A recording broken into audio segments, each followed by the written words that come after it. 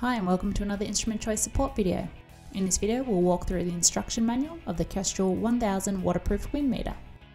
We will run through the features and options, how to get started, setup options, some measurement notes, as well as maintenance and calibration. The Kestrel 1000 measures wind speed in miles per hour, knots, the Beaufort scale, meters per second, feet per minute, or kilometers per hour.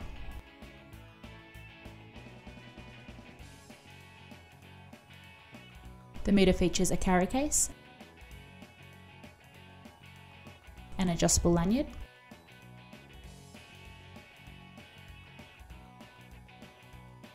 a 1 inch impeller, three navigation buttons, a large crisp LCD screen, a button information sticker on the back, as well as the battery cavity.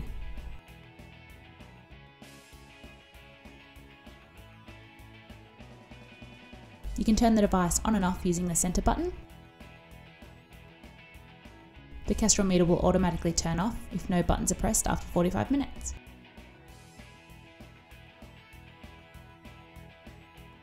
Press the left or right button to view the maximum and average wind speeds.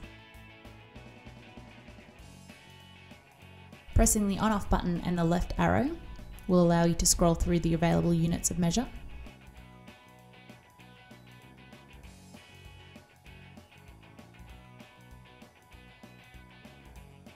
The maximum and average settings are reset each time you turn the device on and off.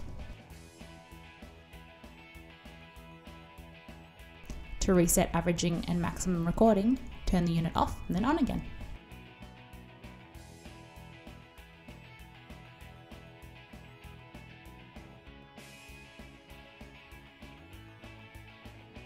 The Kestrel 1000 also allows you to hold measurements on the screen. This can be useful for taking measurements when you're unable to see the display. Hold down the on-off button, then press the left arrow. Hold will blink on the screen.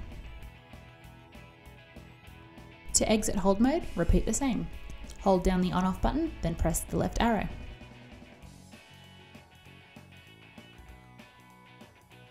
When the display becomes dim or even disappears, you need to change the batteries. To do this, you will need a small coin. A 10 cent coin works well, Insert it and twist to open the battery door. If needed, replace with a new, clean CR2032 coin cell battery with the positive side facing up.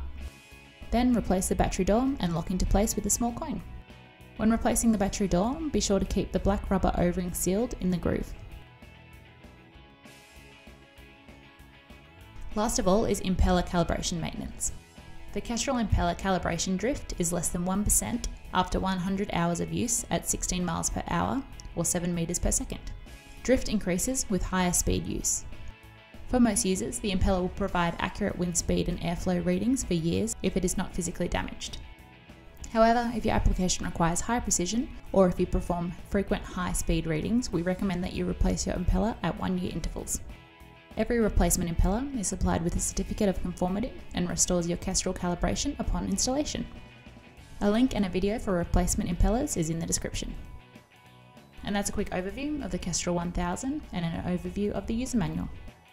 We hope that you found this video helpful. Thanks for watching.